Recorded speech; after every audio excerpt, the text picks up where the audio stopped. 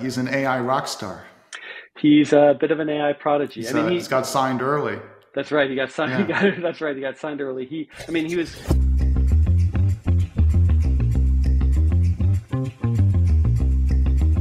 Hi, I'm Matt Egol, the host of the CX and Culture Connection, the podcast for leaders who are looking to drive improvement in their customer experience and culture together. Today, I'm joined by Rex Briggs, who's a well known leader in the AI space. Uh, he's the chief AI officer at Claritas, and he's also a subject expert at MMA Global, where we're both involved. Thanks for joining today, Rex. Of course, for you, Matt, anytime. So, you've been at the forefront of AI for many years. Uh, from the invention of multi-touch attribution to recent innovations on personalization. What do you see as some of the biggest opportunities for marketers related to AI? Well, it really is a golden age. I was planning on being semi retired and just doing industry work with you and MMA Global. And I got uh, so excited about the advances and what's possible for marketing that I wanted to dive back in and build. And that, that that's why I took the chief AI role with Claritas. They have a great set of data available on customers, and of course, they acquired Arts AI, which you and I know through our work with MMA. Uh, Global was delivering some amazing results. Uh, I think I think that there's so many opportunities. The issue is really how do you prioritize and get as many people moving in an organization simultaneously as possible. One opportunity on the very large side is that we're going to see a complete evolution in how multi-touch attribution works. It's been very rear view mirror, uh, as was marketing mix model before that. And what you and I have seen in our work together on the Consortium for AI Personalization is that these things are dynamically optimizing using AI with unsupervised learning. This real time nature is really amazing because instead of it taking a week to analyze and looking backwards, it's happening in milliseconds, dynamically in real time. It's reacting to the world around it if there's changes. And, and that really allows us to change how we approach multi touch attribution because we can optimize the message and the audience. And soon I think we'll be able to orchestrate the, the experience and the touch points together. I mean, that's one of the things I'll be working on, trying to figure out how to execute that math. Um, so I think it's really just a very exciting time because of that new real time capability. I think this real time thing is huge. Uh, you know, in the past, when we wanted to measure campaigns, often we would have four to six week lag times to get data, um, you know, around store sales and things like that. And now there's a lot of low latency KPIs you can look at to drive sales, to drive uh, to not not just sales, but to look at other KPIs along the journey and optimize them with AI. Do you want to share a little bit more about the consortium for AI personalization you just mentioned, and you know how that taps into some of this real time opportunity for unsupervised learning? Yeah, and I want to come back to your point also about the low latency metrics and how do you get the balance right, and then also how, about the overall customer experience because those are those are challenges that, that that we need to get right, and we can easily get them wrong. Um, so the consortium for AI personalization is through uh, you know and I work together on a day to day basis with MMA Global to bring marketers together from different industries and categories to learn through measuring real world campaigns using this new AI personalization technology. And it's global, right? I mean, we're doing this in different countries, we're doing it in different industries. And we've seen, uh, in general, very strong results, but we've also seen a few results where it hasn't worked so well. And that's teaching us a lot too. So, what I love about these industry studies is it isn't a vendor trying to prove a point. It's marketers working together in the ecosystem to try to learn together how to improve marketing. You know, that's why I'm involved, at least. For me too. I, I, I got involved in MMA to work with, uh, you know, marketers to help have impact, to raise the game for marketing together, collaborating, to work with interesting people and interesting companies um, at the forefront of innovation, and actually have an opportunity to do experiments and learn and and prove out what drives impact, which is you can do it one company at a time, but MMA Global is a great community of marketers to do this at scale. That's right. And you know, when you learn something like what we're seeing here is that you can more than double your conversion rates. I mean that that's game changing in the competitive landscape. The issue, though, in my view, is that it's not about having the learning alone, it's how do you scale. And so, if you really what's going to happen with this technology is in five years, everybody will be doing the same thing and it won't be the competitive advantage anymore. We'll have to figure out the next competitive advantage. But for those five years, whoever's on the early end of the curve and who is scaled first, they're stealing the customers of the people that were slow to move. So I, I, get excited about that part, which is how do you help somebody build a capability and take market share because you're faster in the innovation. And I think that also sets you up to be faster in the next innovation, which, you know, right after AI personalization, which is about the ad serving part of it, is the generative AI that can plug in and feed it. And after that generative part, it's the whole feedback loop of doing this across the entire experience, including your call centers or in person experiences. So I think that there's a lot for companies to do. And this is the skinny edge of the wedge that gets you sort of in building on the on the learning and the capability and expanding appropriately. I love this uh, theme you're hitting on around the culture of experimentation, of companies really looking to increase the speed and the quality of the experiments they're running. Um, a great example I read about in a book about culture was um, about uh, Booking.com and how they actually run like 10,000 experiments a year and how they had a new CEO come in, want to do something. And in the staff meeting, someone said, when the CEO said, go do this, they said, okay, I'll run an experiment. You know, so like even the CEO didn't get a pass. Um, but, uh, you know, what we're seeing now with AI is that the cost of running tests and the cost of being able to test a hundred versions of content instead of just four or five of them, you know, with ABN split testing is going down and the ability to learn and drive things and drive you know, things where you can get the data much faster so you don't have to wait two weeks, four weeks, six weeks for the next iteration. It's the it, there's much more opportunity to drive experimentation and the cost of doing the experiments is much lower than they used to be. The speed and the cost has gone down. Yeah and you know the and that that's both exciting but there's always this little caution in the back of my mind about that low latency versus the long-term lifetime value and I, uh, early in my career, when I did the very first ad effectiveness studies, it was like 1996 or something. I won some award from WPP, um, the Atticus Award, they called it and uh, we had a nice dinner in a private club in London, as uh, as Sir Martin would would host, as you would imagine. And he had he sat me next to Jeremy Bullmore, who is the vice chairman of WPP, and he Jeremy was just I mean I was like 25 or 24 or something like that, but he he was such a senior statesman in the industry, and he said to me in the most polite but put me in my place way he said, You know, I read your, your study and I thought it was really interesting about the effect of, I think we had done something in Ford on the UK. And he mentioned that. It's like, Yeah, I was influenced to buy a car once uh, from an advertisement. Uh, I'm like, oh yeah, you're on that brand. Tell, uh, tell me about it. Oh, it's like it showed the car uh, or the vehicle in a barn, and it was this, it was that. And I'm thinking, I had looked at all the creative. I didn't remember anything like that before, and that was exactly his point his point, as he shared after he waited for my brain to tick and connect over, was that he saw that ad 17 years earlier. And since he was a younger man, he wanted that vehicle. So, how do you measure the effectiveness? What he was asking me was, how do you make sure that you measure the effectiveness of these long term arcs where you build this deep relationship with people when you're trying to measure a click through or you're measuring a visit to a website or a, a dealer test drive or these you know, funnel metrics that we can measure? and that that's really been the, the issue with with MMA Global's uh, brand as performance, which is how do you know, how do you get the long term value?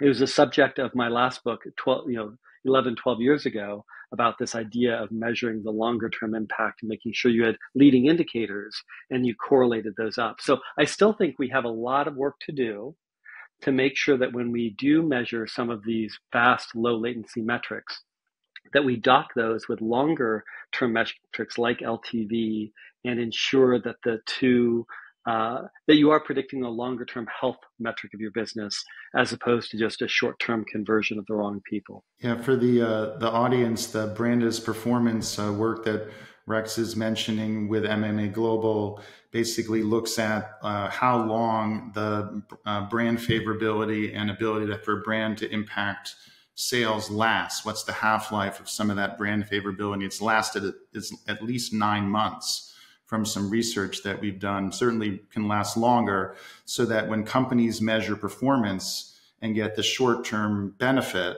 and say this is really high, that, that is true if you measure it through a short term lens.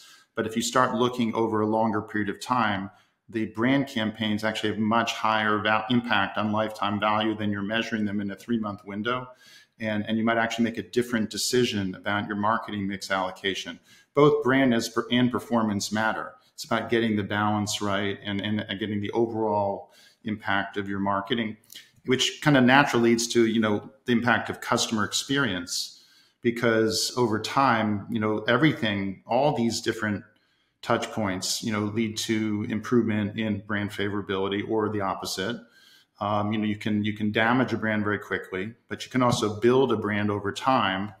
Advertising is part of that, and, and what's interesting now with AI and content is effectively everything's inventory and digital. You've got advertising and you've got content you can deliver, and you want to optimize that next best experience, whether it's a paid media experience or a customer experience using data. Yeah, I think that's exactly right. And I, the the balance part is a mathematical equation. It's one that I'm specifically working on. Uh, in, in my last book, it was all about that that optimization part, and I think we've learned a lot more. We have new capabilities in the decade that's passed since then. But you know, in the past, it was about uh, how do you make sure that your selection of customers, new customers, um, are less likely to convert as easily as an existing customer for an incremental sale. And so our tendency was to over rotate on existing customers and uh, and neglect some of the brand development we need to do for new customers because the higher ROI mathematically was, was an existing customer. So I do you know I do want to try figuring out how do you get that that uh, that overall experience right, and then finally how do you layer in what is your corporate strategy because where you may be today, you can optimize it based on the data you have today. But unless you're looking down the road and thinking about how the world is changing around you, you really don't have a true optimization. So, like if you take the Hispanic population in the United States, uh, they do not account for uh, the highest, most profitable customers in most for most brands today, but it's a growing population, and so if you aren't factoring that into your longer term optimization, then you're not likely to actually truly have an optimal plan. So there's a lot of issues like that that we can think about. And so that's, I think, why it's an exciting time is because not only do we have better machine learning algorithms to help us, we have a whole new generation of AI that can do unsupervised learning that can help us with AI assistants and as, as agents. Uh, so it's going to be a very exciting time in marketing. I, you know, you have a, a, book coming out. You mentioned a couple of your previous books, but you've an, another one coming out with MIT Press uh, in the new year called The AI Conundrum. Can you share a little bit more about that book? Yeah, I mean, th- that book is really the product of my son, Caleb. Uh, being a dad and working in, in data and technology, I, I, got my twin boys computers when they were 10 and uh, turned them on to this uh, visual uh, program programming language called Scratch, which is just you know drag and drop, you know, put blocks together and you can make cool video games or or class projects or videos. Uh, we actually, my son Caleb, after he learned it, was teaching teachers in the Reno Tahoe area how to bring Scratch into their classroom when he was uh, 14. And so that was one of our, our father son projects was helping more people learn how to code. Well, he ended up around that time going from that effort to uh, teaching himself Java and then uh, and then the original programming language for AI called Lisp, developed in the 1950s at MIT. And I brought him to a conference, um, an MIT conference, and, and he was having deeper conversations about Lisp and AI than I was. And so he was just, you know, really excited about the technology. And he wrote a paper called The Fundamental Limitations of AI. And his view, view was that we need to be appreciative of the weaknesses of what AI can't do and why it can't do it and why, there, why there's challenges so I'm sitting in the uh, in the in the classroom when he's presenting his his thesis, and uh, and so is a VP at Google, and uh, and a doctor and a couple of other people who wanted to hear what he had to say. And the guy from Google leans over to me and says, "You know, we're seeing the exact same weaknesses at Google, but nobody's talking about it." And that was a moment when I decided, you know, we got to figure out how to get this published. And we sent it over to MIT, and and they were uh, they were like, "Yeah, this is really interesting."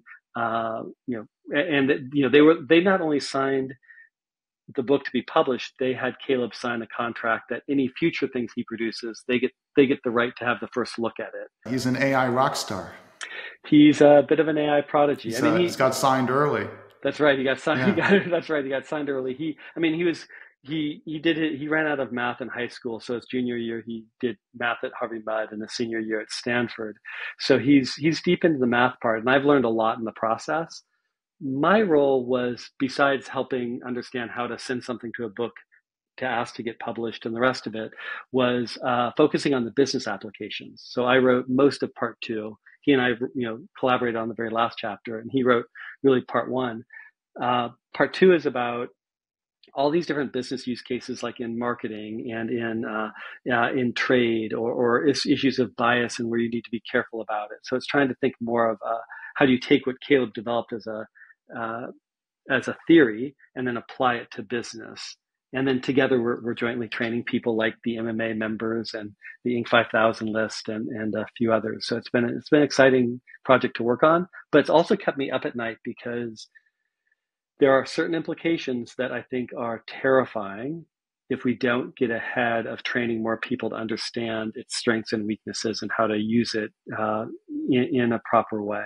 So, you know, as companies engage their employees for upskilling and trying to empower them to apply some of these new approaches, which certainly AI allows more distributed citizen led approaches inside companies. What would be some of your advice for companies to avoid some of these pitfalls as they empower their employees to embrace this, to avoid some of these challenges? Yeah, there's a push pull here. So the push is you've got to push your team to adopt AI uh, you should be making it very easy for them to to spend 20 bucks a month or you know try pay pay for this or pay for that and try different things so you want to encourage uh, lots of trial and the trial the main point is to say the trial inside the operation is great if there's a human in the loop someone reviewing it run run as fast as you can if you try five things and only one or two of them work that's a win uh, there's a lot of room for efficiency and improvement there. So, so get the team running. That's the push part. The pull pull part is pulling people back a little bit to say you need to ask the question: What's the consequence if this AI is wrong? Now, a lot of the times the consequence is absolutely not much at all because it's internally. Like, let's say you decide to do an AI transcript for this uh, for this podcast easy application. You can have a human in the loop that reads it and reviews it and tweaks the the you know few misspellings or, or misstatements. So you can construct a workflow where you're like, we can easily offset what, what could potentially be wrong. Um, great, run with it. But if you're trying to think about using an AI to make refunds and so forth, these things are so easily hacked, as we showed in the training session, that uh, you don't want to do that. Or Zillow using it to try to price homes. Um, you know, th- those are those are much more risky use cases. The ones that really keep me up at night are that we're increasingly giving creating agents that can do a lot on their own. So these autonomous agents um, in my view, should not be anonymous. We should have them attached to a company or to a to a per- person who is accountable for what that agent does, because the agents right now are powerful enough to transact. I can create an agent right now that tries to create a business or a trading portfolio that can control cryptocurrency. It can make cryptocurrency and it can spend cryptocurrency, which means it can hire people to do nefarious things that it might think in its own internal logic is a great way to short a stock no, we do not want think that that is a safe application. So we need to really begin to have a much faster dialogue where people recognize, you know, what we need to do to to uh, to keep to keep these models safe. So not anonymous, and better to be a co-pilot than a pilot. Yeah, you know, better to be a way to augment a human being or help help a human being than to than to completely go off and do things without supervision. I think so Uh, you know, the problem is that, that we're moving so fast that I don't know that we can completely expect that we will get um, the identity right. So one of the things I'm trying to drive with the Claritas, uh, taking that post was putting consumers in control of their own data because I think with data, we will create more effective agents that work on our behalf. And I want to show a model of how those are bounded to a person with an identity, with permission, and with control, so that other people see that as best practice, and that that's what we should be uh, we should be standardizing. In fact, I'm going to try to open source those so that other companies who want to tap into these, uh, like the the Matt the Matt persona, an agent that you create that you can control, you could say, hey, I'm okay giving it to Disney because I've got kids and we're planning a trip, and it can interact with my agent to help me plan the trip and come back with recommendations. So I, I think that that is the model for the future. And there's the other model, which is the chaos GPT example we talked about in the book, where that one was a destructive, power hungry AI bent on the destruction of humanity that began to try to figure out how it could acquire the most powerful nuclear bomb. That's not a good idea. I was telling Elon Musk when we were backstage at the Possible conference that, you know, that the autonomous piece was not a good idea. And initially he was like against that. And then in, you know, a few weeks later, like Elon does, he changed his mind and now all of a sudden he's pushing AI that I think is quite dangerous. So we'll see where things land because, you know, there's much more powerful people than me, Elon being number one on the list, that can take things in a totally different direction that, that, that might work out or it might not. Hard to tell. In my own book, The CX and Culture Connection, one of the things I, I talk about is how um, culture is about behavior and and it's, it's about mindset skills behaviors and relationship networks all four of those. And behaviors is really important because culture is how things are done around here. A lot of what we're talking about with ai is getting people to do things in new ways and get comfortable uh, but what you're highlighting is when you make decisions and you encourage a set of behaviors you want to make sure people don't overreach and do something that could be harmful without necessarily knowing that that's going to be the case. Um, there's a phrase I really like that the company Gore uses, which is don't, when you make decisions, uh, make sure it's above the waterline. Hmm. So you can empower, they, they, have a culture of empowerment at Gore. It's a, you know, founded by a visionary founder and, and, and they have been written up for a lot of um, some of the things they do to kind of work in small teams. And Mike Mangione from Gore was one of the guests on the podcast previously. Um, and, uh, this phrase above the waterline basically means, you know, if, if it's below the waterline, you sink the ship. But if it's above the waterline and you make a mistake, you can recover. So just the key, but what the, the key is to know where the waterline is.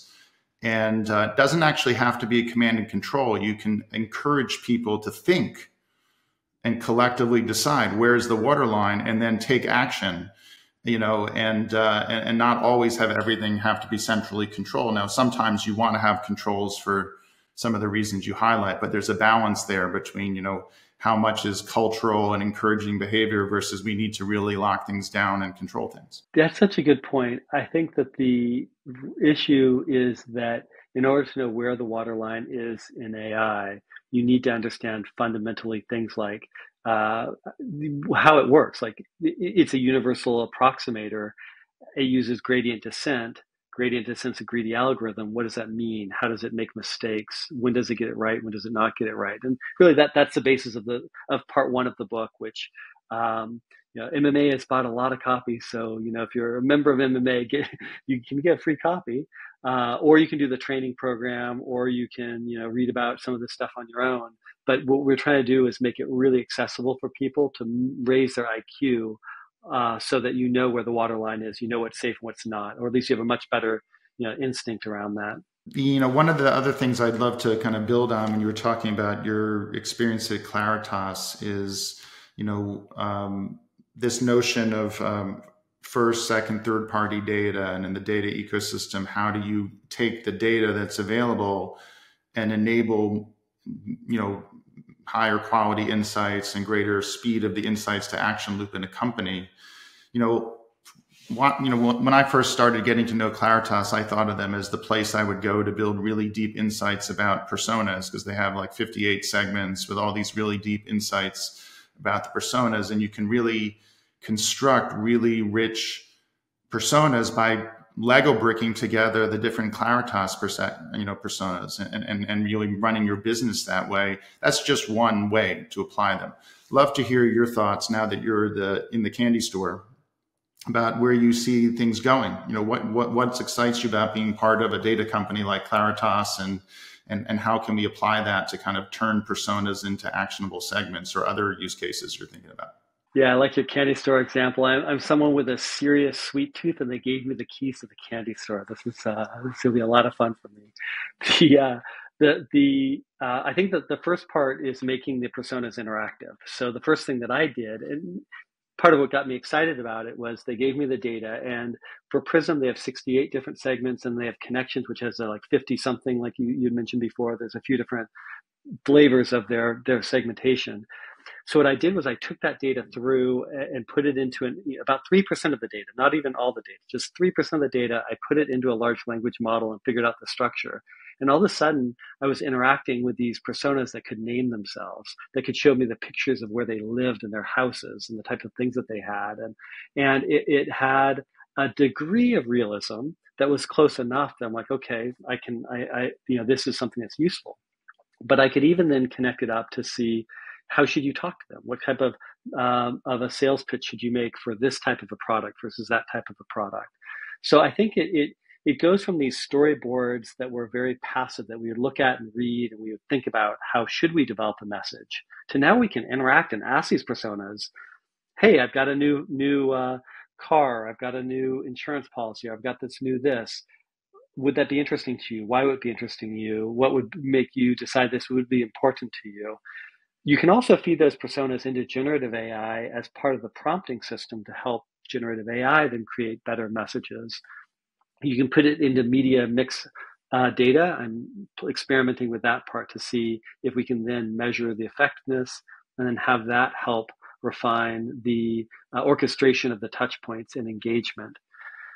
So that that's one dimension of it. Um, the other dimension of it is flipping it around, and I, I just tried this recently and said, okay, well, what if I take my own segment and I try to see what it has right on me and what has wrong?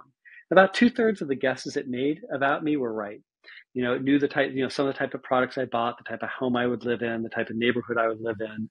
Uh, but it had a few things wrong. Um, it thought I would like Brooks Brothers, and that's just not my brand. This is uh, Vuori right now. I like really, especially after the pandemic, I like soft, you know, easy, comfortable. Or, or if I'm going to wear uh, something like a suit, it's not Brooks Brothers, it's uh, uh, Etro, which I think has really cool Italian fashion design that I that, that I enjoy, or Ted Baker, you know, some of these brands. So as I gave it that feedback, it, it began to adjust what it thought about me, and as it began to update the imagery it showed a different vision that was much more in alignment. It, it, was getting closer to becoming my digital twin.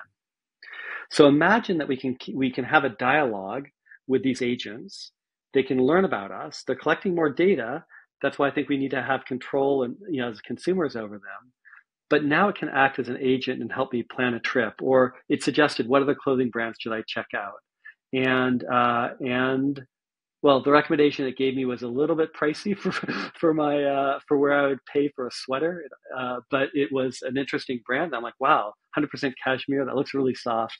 I'm not willing to pay three thousand dollars for it, but that that looks interesting. So now I can tune it and say, well, that that price point's too high.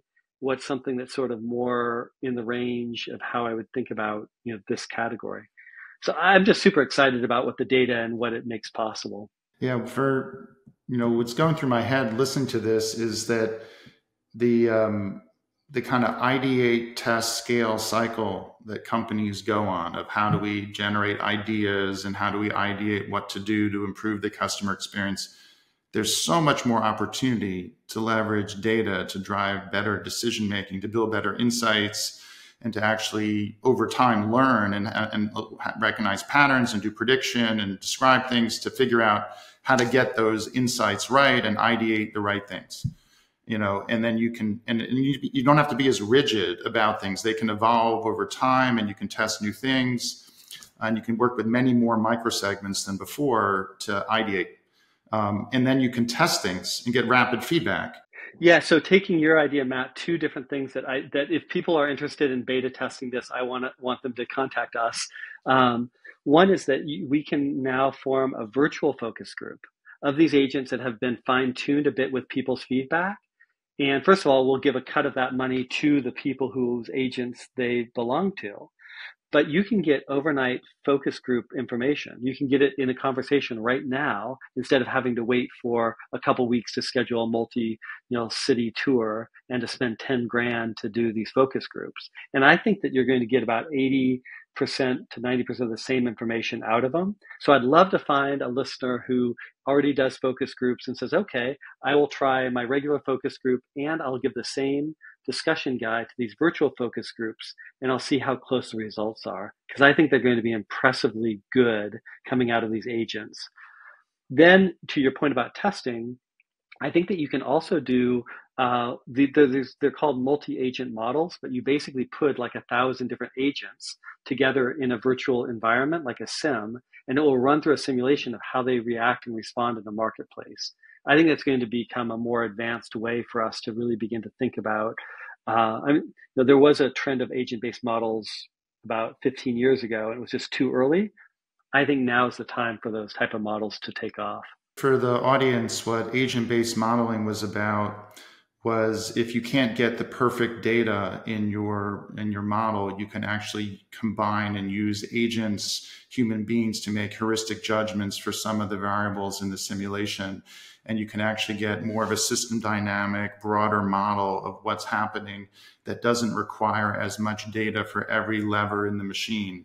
Um, and over time, you can tighten up and improve the uh, the modeling, but it allows for a more complex decision modeling involving some imperfect data, including human intuition and judgment to substitute for data for some of the variables um, which which allowed for you know really rapid progression in simulation and things like that. What we're seeing now is the ability to use data sets like Rex is mentioning to um, allow for more complex decision making and learning again against your learning objectives over time by the right learning agenda, the right you know experimentation design, and, and, and good use of AI to test things. That's one of the things I'm so excited about working with Rex at MMA Global is that we pick big problems to solve, like how do you um, leverage context and how do you leverage you know creative and, and actually design an experiment that proves what works and then iterate to the next phase and the next phase. So it's it's always picking the things that are worth solving for the industry and moving moving it forward with the members. And we're lucky at the association to have Rex involved to help shape that uh, with others like Vass, our head of research, and and other subject experts to really work with great members in, in constructing these ex- experiments. Um, Rex, just um, one uh, one last question before we wrap up here. Um, if people wanted to get involved uh, or or um, uh, you know reach out to you or others for some of the things you're involved in, whether at uh, at Claritas or at MMA or otherwise? What's the what's the best way for them to to reach out or and get plugged in? Well, with the other than going to MMA Global, of course, becoming a member. Yeah, was gonna say uh, MMA Global. The best route is through Matt.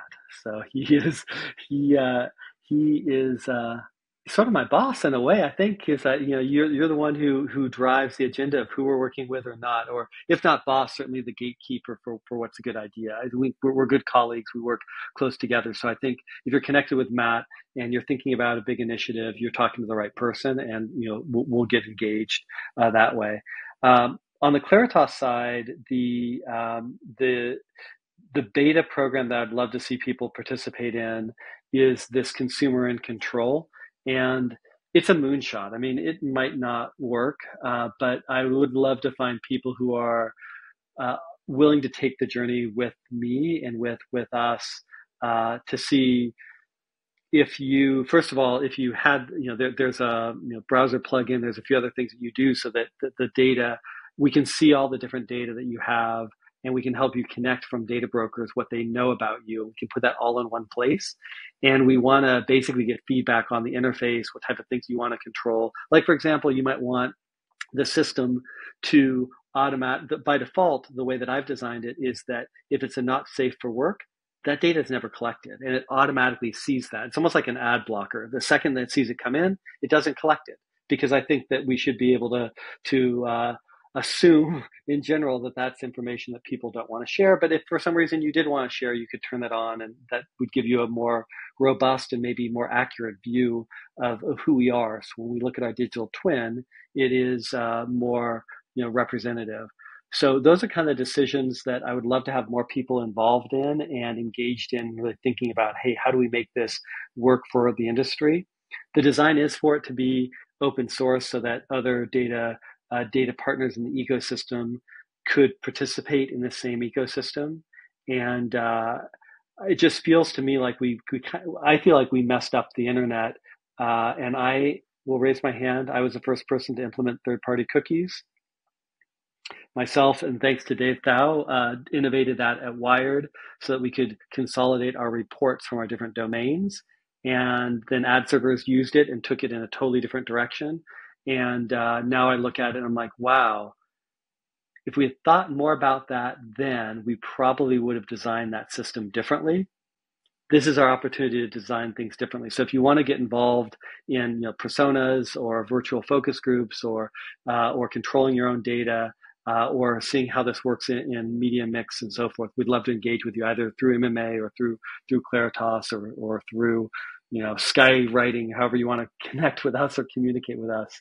Uh, you know, let, us let's, let's try to do this as an industry together. Thanks, Rex. My, Rex, my brain is on fire. It's always a great conversation to chat with you. Uh, you've definitely sparked some great ideas for me, and I'm sure you have for the audience as well. Thanks again for joining today.